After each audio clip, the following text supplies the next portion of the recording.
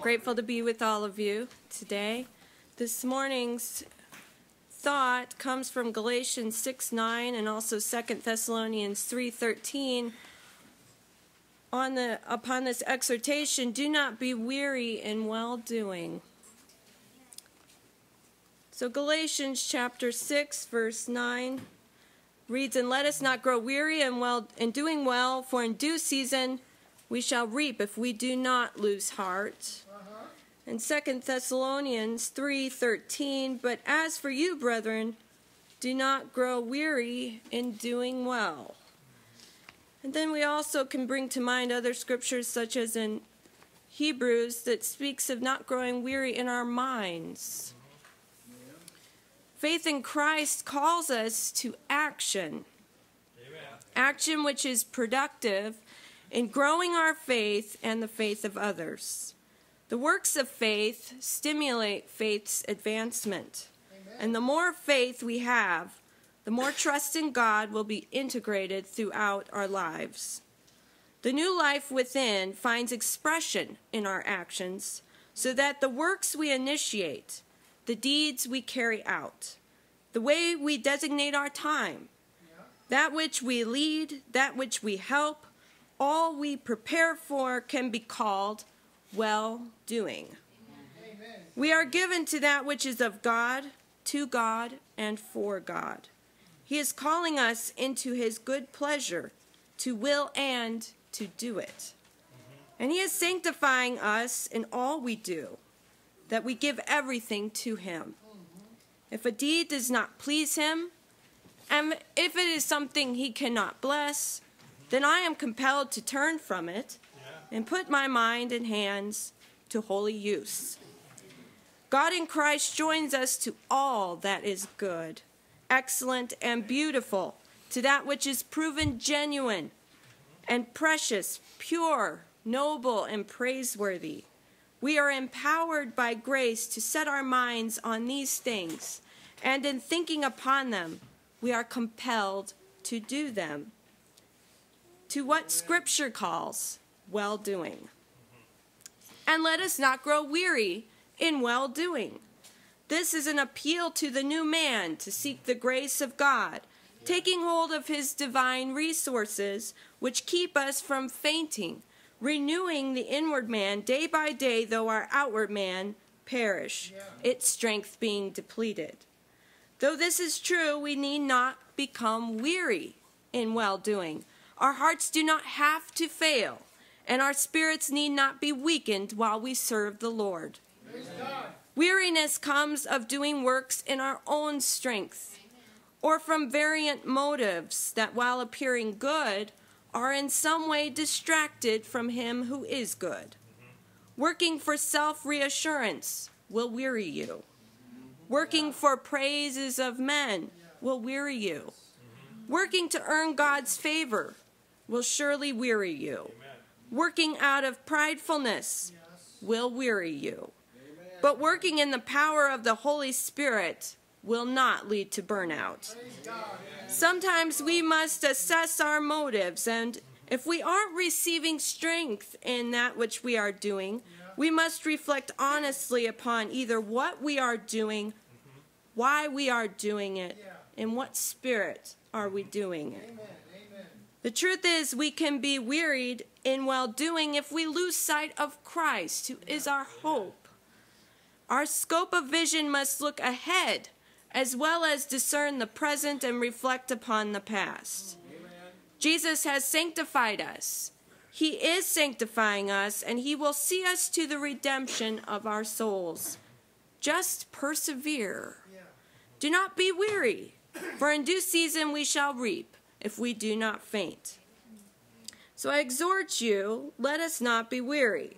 Yeah. Some examples of ways in which we can be mindful of this exhortation. When you suffer evils and hardships and troubles, you will be tempted to weariness, to become entangled with the affairs of this life. Seek to please God above yourself. He is able to give you understanding in all things, Scripture says. If you suffer with him, it is promised you shall also reign with him. If you continue, in well doing. Sow now and reap later. Let us not be weary while persevering in prayer, either for our own needs or the needs of others. At times, we are in circumstances which last much longer than desired or anticipated.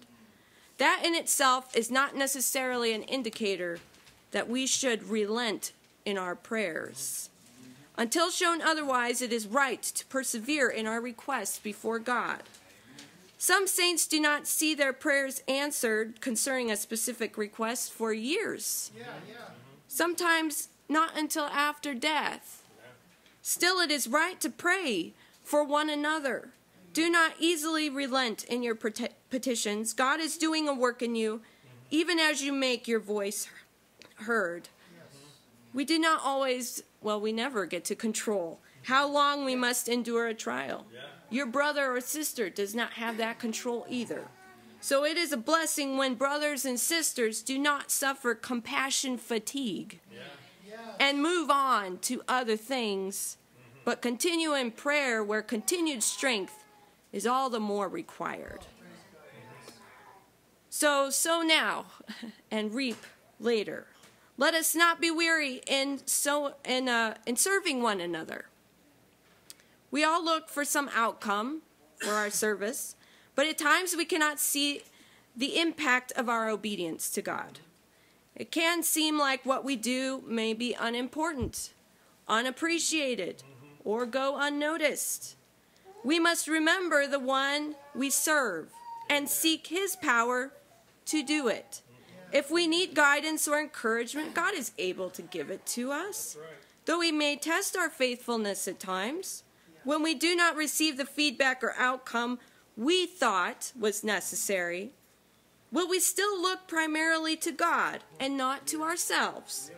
As we seek His favor, He will grant us strength in that which He sent us for and made us to do. So then we sow now that we may reap later. Do not be wearied in encouraging one another. We are encouraged and built up by mutual faith. And remember, faith calls us to action. We must never withhold good for pride's sake or refrain from insightful affirmations. You may be saying what no one else has said, offering necessary grace. And if others have affirmed the same truth you speak, your affirmation adds to its strength. Encourage, hi, encouragement highlights the power of God in us and towards us. If you have faith, then you are called to be an encourager to your fellow saints by your works and your words. Amen. Do not grow weary in well doing. This helps us stand by God's grace. So now, reap later. You do not have to be weary. You do not have to faint in the way. So let us not grow weary in well doing, so that the works we do will be approved by Christ in the day we stand before him, forgiven of our unrighteousness and justified by his righteousness, which effectually works in us. When we were without strength, Christ died for us, so that now by his life, grace reigns through righteousness. We are now the servants of righteousness, moving in the strength of his grace. Let us therefore not be weary in well doing, for if we do not faint in due season, we shall reap all we have sowed to our God. Let's open in prayer. Dear Lord, we ask that you would bless our minds, our hearts, and souls to be strengthened by your grace, to be moved by your power Lord, let us not rely upon our own strength. And when we would be tempted to be discouraged, lift up our heads to see you. Make Christ shine more brightly in us than anything else that could be of a distraction. And Lord, we pray for encouragement and grace for those among us that each one, as we fight this fight of faith, that we would persevere and be a strength to one another as we live by faith. We pray it in Christ's name. Amen.